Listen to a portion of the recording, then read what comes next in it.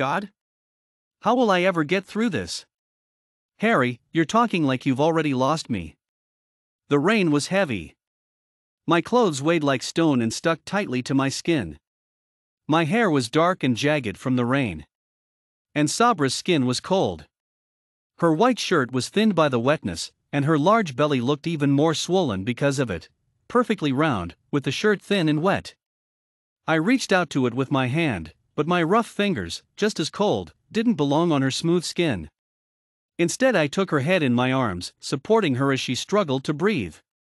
I'm sorry. I'm sorry for all the times I lost my temper, all the times I ran out when I was angry, I started to sputter. Sabra pinched me. Stop, of course, I forgive you. You speak as though I'm on my deathbed, and I don't like it. She lifted her chin and smiled. Be happy for me? I tried to smile back, but it was hard to look into her eyes. They were hidden among so many gray lines. I held her tighter, as though any moment the rain was going to wash her away. She rested her head against my chest. Everything will be okay. The baby, she patted her belly, will be okay. Okay. Speak with more faith, Harry. I can't. Why not? Sabra? I looked down and noticed her hands, they were shaking and blue. I took a deep breath. I want to face the worst of my fears while you are here to comfort me. I can't pretend? I don't have the strength to pretend that I'm not scared. Sabra grew quiet then. Then speak your heart. And I did. I poured out my soul to her, and she nodded patiently. My fears, my aches, my pains, until the tears and the weight in my chest left me numb. The stone underneath my legs was growing colder, we were in the mouth of a cave, you see. I had tried to rush Sabra to a midwife when I had slipped in the rain. Sabra was too weak to walk the 10 miles left. And my leg had snapped under the fall. We can deliver the baby here, Sabra said again. Many babies have been delivered without a midwife. Not with your condition. Most women they they die in your condition. Her eyes looked angry at me then and turned away but her voice grew soft. I love you. My voice cracked as I struggled to speak. I love you too. Her shoulders relaxed, and I pressed my body against hers, hoping to warm her. She looked off into the forest outside the cave. You know how? The villagers hate the old stories because the women in them were always helpless and weak. They were always too soft, people say. Wilting daisies. Never speaking up. Laying down and just watching the world happen to them. She turned to me, looking slightly amused. Here I am. The same kind of woman they despise. I shook my head, You are the strongest of all women. She laughed. You think so? My voice grew louder, filled with certainty. Yes. She reached and held my hand. It was so delicate, cold, breakable. I was filled with a surge of self hatred in that moment. That I couldn't protect her. Tell me more about this strong woman named Sabra, she laughed quietly. She loves with all her strength, I said thoughtfully, she is brave. She is so confident she doesn't need to flaunt, brag, or prove it. She just knows it. She nodded, keep going. She has so much light.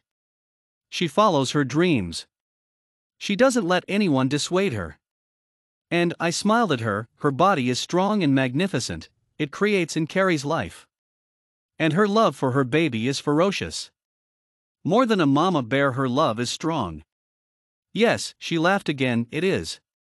And it was that moment when she finally let herself cry. Her shoulders shook, and her body racked. She wrapped her arms around her belly. I'm not afraid to die, she admitted, but I'm afraid to leave behind such precious, vulnerable people. And there, that was it. That was it, I had the strength in that moment.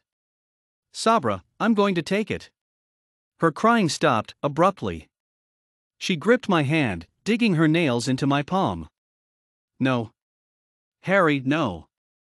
We have no idea what that potion does. It's just as risky as me giving birth in this cave. I'll never forgive myself. If it could have worked. I say desperately. That potion will turn you into an animal, her voice was getting louder. An animal with incredible strength. I argued I could have enough strength to carry you to warmth and safety. She was glaring at me. Even in the best case scenario, I lose the man I love. You can't put me through that. You can't put me through losing you either. She was shaking more now, at first I thought it was because she was angry, but no. She was cold. She spoke angrily, slamming her fists against my chest. But she began to fumble, and her words began to slur. Quickly, I couldn't understand what she was saying, and I knew the cold was getting to her. My own hands, numb, reached for the small vial in my vest pocket. I was shaking more now, nervous, scared, in panic. But as I opened the bottle, a calm came over me. I'm sorry, Sabra. For being so stubborn sometimes. Just like right now. But this is the only chance that I see. Please, trust me.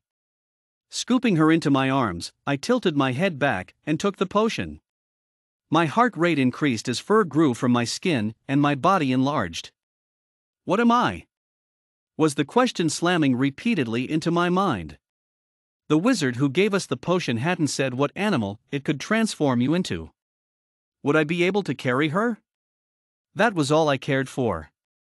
I was quickly wrapped with a great warmth and an adrenaline like I had never before experienced. My mouth felt the strangest teeth, a snout. I'm a bear. Dear God, this works, this works. I howled from joy and tested out my legs. Healed. And then I began to run. I had never seen a bear run on their hind legs, but I was bounding through the forest at an incredible speed. I will save you, Sabra. I will save you. I will save you. I gently placed her down and knocked clumsily on the midwife's door. I darted away before I could be seen. I watched from the brush, breathing heavily as the midwife quickly picked up my frail Sabra with her own strong arms. I got as close as I dared to watch from the window. I watched Sabra heal over the next hours, and I watched her give birth. Our baby, our baby is safe. It was the happiest moment of my life. I wish I could have been there. Inside the room, holding both of them. And as the night went onward, slowly turning into morning, a sadness overcame me. I looked at my claws, and I looked back at that window. I had saved Sabra, I reminded myself. I had saved her. But Sabra's desperate pleas for me to not take the potion rang through my memory. I could already imagine her waking up, anger and pain etched in her face, asking where I was. I laid down, my heart beating loudly against the muddy earth. Together, Sabra had always insisted. No matter what, we do things together. I hadn't listened again. I looked up, noticing Sabra's small hand closing a bedroom curtain. I smiled sadly. It's not my fault, Sabra. It's not my fault I love you with all my strength.